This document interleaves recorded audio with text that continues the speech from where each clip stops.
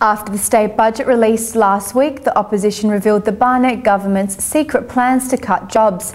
It's an accusation that unions took very seriously. This report from Darren McAlane. Just one week after the release of the state budget, reports regarding further cuts within the government have already surfaced. Very, very concerned about the cuts. We uh, certainly um, have had our concerns about the job losses to date. The opposition claimed that $212 million in reductions to education and health had been hidden by the Barnett government. 265 education staff, including teachers, education assistants and Aboriginal education officers, will face the cuts.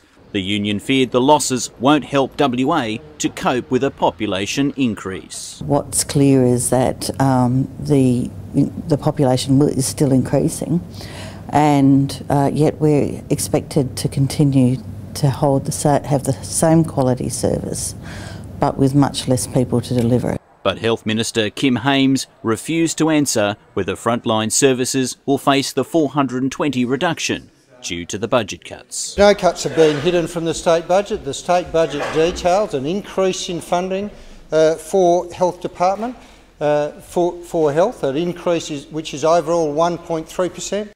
Darren McAlane, WAMN News.